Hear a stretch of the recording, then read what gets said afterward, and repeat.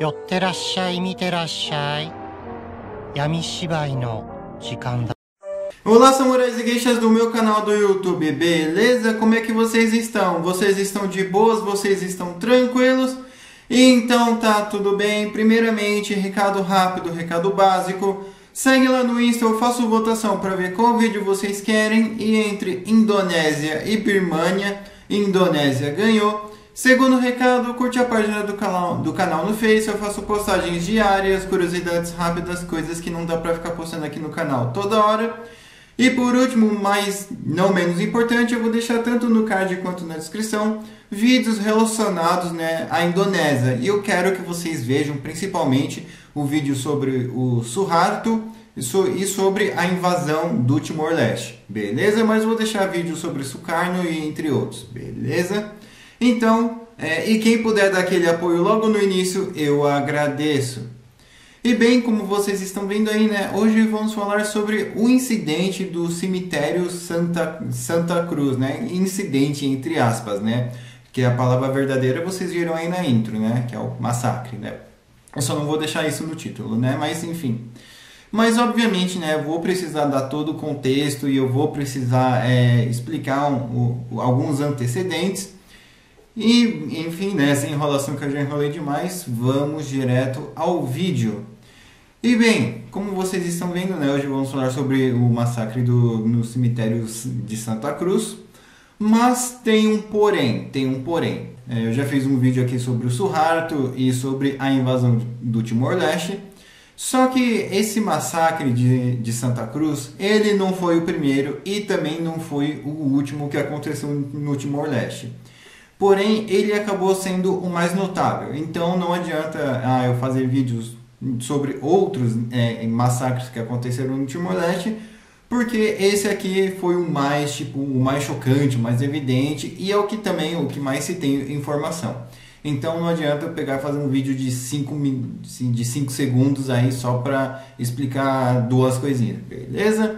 E tudo isso começou já nos anos 90. Sim, meus amigos, tudo isso começou em outubro de 1991, quando a Assembleia de Portugal, junto com outros 12 jornalistas, estavam planejando ali uma viagem ali para o Timor-Leste, né? Porque estava tendo muita denúncia aí de violações de direitos humanos e torturas, né, né que a Indonésia estava violando os direitos humanos, estava torturando os timorenhos.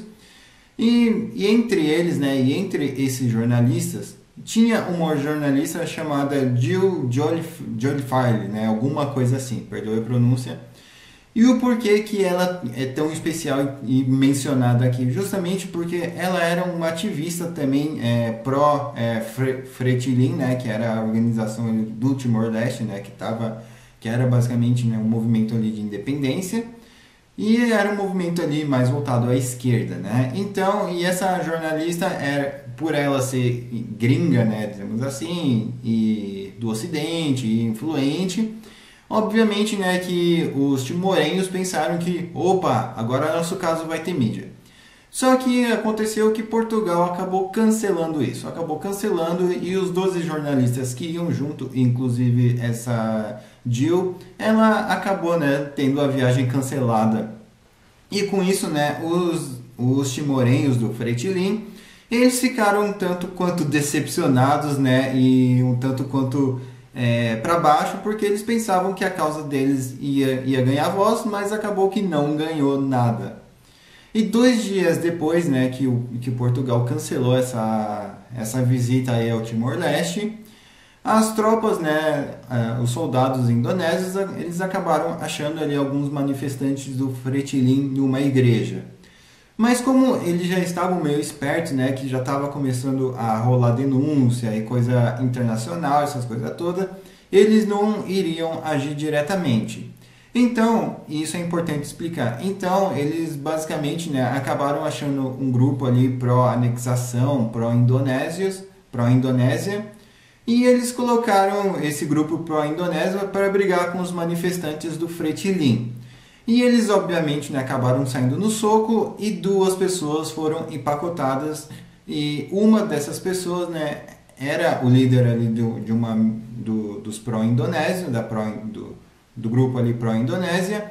E a outra pessoa que foi empacotada era uma pessoa do grupo né, do Fretilin. Ou seja, o, o, cada grupo aí fez um barra um. Nossa, meu Deus, que errado essas piadas. Mas enfim, isso é importante o porquê. Porque isso daí também, né, esse tumulto acabou gerando ali mais, mais repercussões. E com isso, muitos jornalistas né, que ficaram sabendo dessa Assembleia de Portugal e essas coisas todas, né, Muitos desses caras eles acabaram entrando ali no Timor-Leste, obviamente que de maneira ilegal e até mesmo talvez de maneira independente, né? E entre eles estava do, três pessoas importantes, né? Mas apenas um é mencionado que é um britânico chamado Max Stat, né? Algo do gênero. E com ele tinha um outro neozelandês e se eu não me engano também tinha um, um outro que era norte-americano. Só que esse Max Stat, ele era cameraman e jornalista, então tipo, ele já chegou ali com a câmera e os outros dois eram apenas vai, ativistas e jornalistas, mas não sabiam operar uma câmera de fato, né?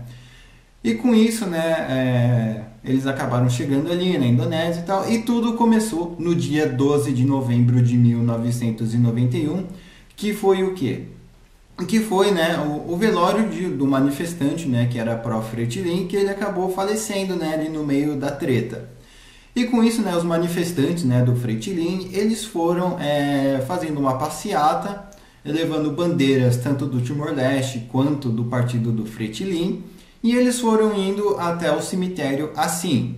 E não só eles, né, mas também como o Max, o neozelandês e o americano, eles também acabaram indo junto ali com esses caras ali para o cemitério ali de Santa Cruz. Só que, né, obviamente o governo indonésio já estava esperto e já estava ali vigiando os caras. E quando esses manifestantes eles acabaram chegando ali no cemitério, né, um total de 200 soldados indonésios chegaram junto, né? Eles estavam ali só acompanhando basicamente, fazendo uma escolta entre aspas e eles chegaram ali no cemitério e, obviamente, né, as pessoas ali do Fretilin começaram a, de certa forma, ficar em pânico, mas eles estavam se sentindo tranquilos, né, até porque tinha três gringos ali, né, tipo, três é, ocidentais que aparentemente né, poderiam aderir à causa deles. Mas não era só isso também, né? Até porque também eles estavam no cemitério, estavam no velório ali do cara, né? Então eles não, eles não acreditavam que os soldados indonésios eles iriam fazer alguma coisa. Então, um dos soldados indonésios, né, acaba dando alguns tiros para cima, né, o que foi relatado, acaba dando alguns tiros para cima, e os manifestantes eles acabam se assustando.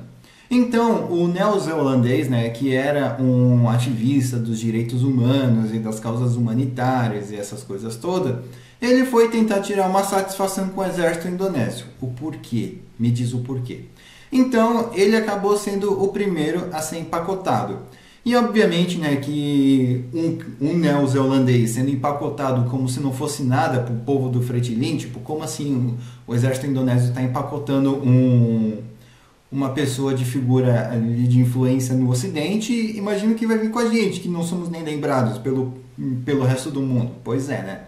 Eles ficaram com medo, então o, eles, aí começou o tumulto, né? Começou a correria, e o norte-americano, o jornalista norte-americano, ele foi tentar trocar uma ideia ali com, com os soldados lá indonésios, e os soldados indonésios bateram nele até o crânio dele quebrar, ou seja, basicamente o segundo empacotado. Então, e depois disso, né, os, os soldados indonésios eles começaram a abrir fogo ali com, é, em todo mundo ali que estava ali no cemitério, não importando se fosse ocidental ou não, mas eles estavam ali abrindo fogo ali em todo mundo. E, e, o Max, ele estava junto. E o Max, ele conseguiu filmar o, a cena, né? Ele conseguiu filmar tudo o que estava acontecendo. Inclusive, tem até no YouTube esta filmagem. E o tumulto vai, tumulto vem. Aconteceu que 250, 250 manifestantes né, foram empacotados já ali dentro do cemitério. O Max, ele acabou filmando tudo. Mas o Max também, ele acabou sendo preso, né? Ele acabou sendo pego e tendo sua câmera apreendida. Só que ele foi um, um tanto quanto esperto, uma vez, do, uma vez que ele acabou escondendo né, a, o cartão, né, a memória da câmera, dentro de um túmulo, né, que acabou abrindo no desespero das pessoas, pisando, quebrando tudo. Então ele conseguiu esconder né, a, a memória da câmera dentro de um corpo que estava dentro de um túmulo, ou seja, né, ninguém ia fuçar lá. Então o Max ele acabou sendo preso e acabou sendo levado dali, obviamente, né, que os soldados indonésios acabaram pensando duas vezes antes de empacotar o cara. E o que aconteceu depois foi um plot twist. Aí, os soldados indonésios, né, eles também estavam procurando ali a, a, a, filmagem da câmera, né, a memória e tal.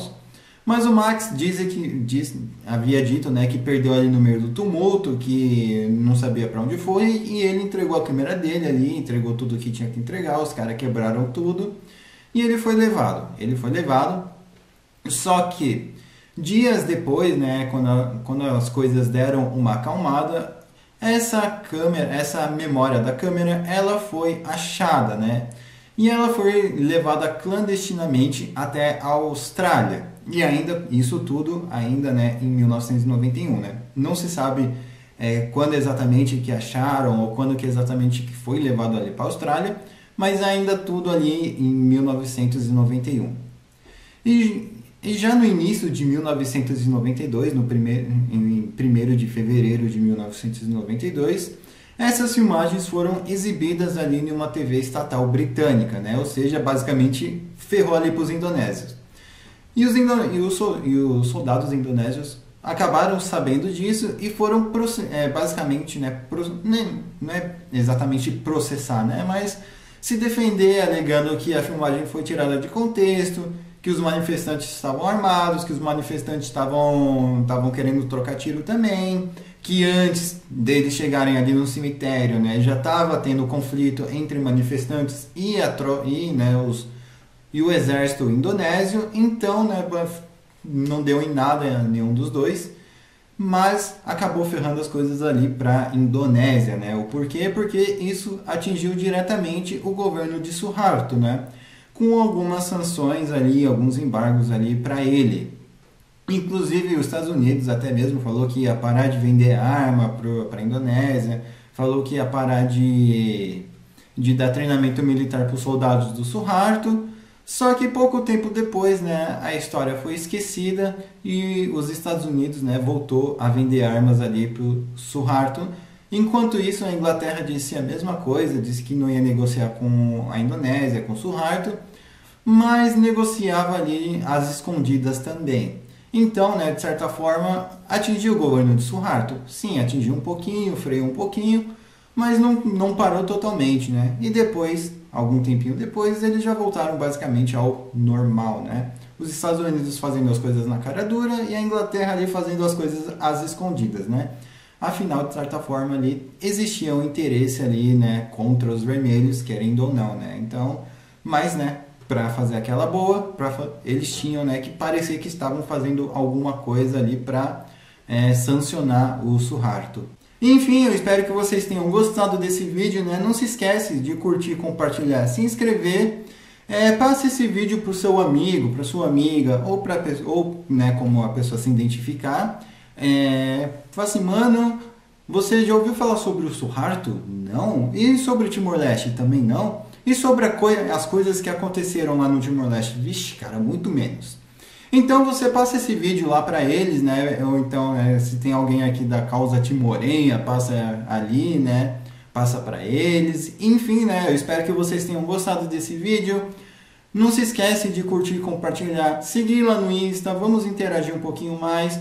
E quem puder dar aquela help também, eu agradeço. Beleza? Enfim, falou e fui.